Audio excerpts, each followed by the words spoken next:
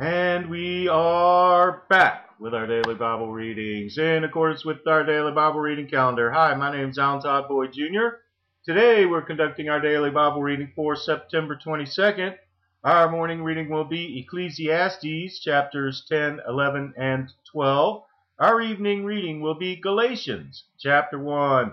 So let's go ahead and get started with Ecclesiastes chapter 10.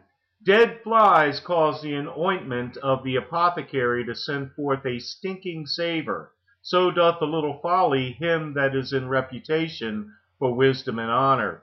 A wise man's heart is at his right hand, but a fool's heart at his left. Yea, also, when he that is a fool walketh by the way, his wisdom faileth him, and he saith to every one that he is a fool.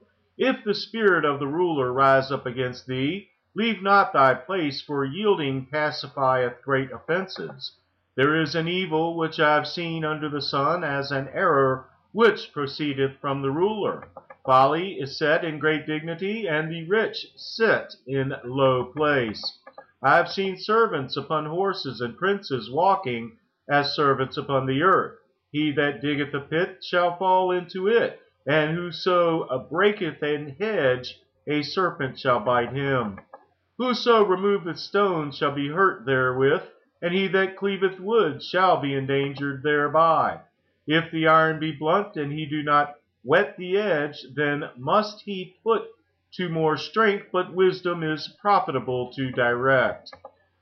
Surely the serpent will bite without enchantment, and a babbler is no better. The words of a wise man's mouth are gracious, but the lips of a fool will swallow up himself. The beginning of the words of his mouth is foolishness, and the end of his talk is mischievous madness. A fool also is full of words. A man cannot tell what shall be and what shall be after him. Who can tell him? The labor of the foolish wearieth every one of them, because he knoweth not how to go to the city. Woe to thee, O land, when thy king is a child, and thy princes eat in the morning. Blessed art thou, O land, when thy king is the son of nobles, and thy princes eat in due season for strength and not for drunkenness. By much slothfulness the building decayeth, and through idleness, idleness the hands the house droppeth through.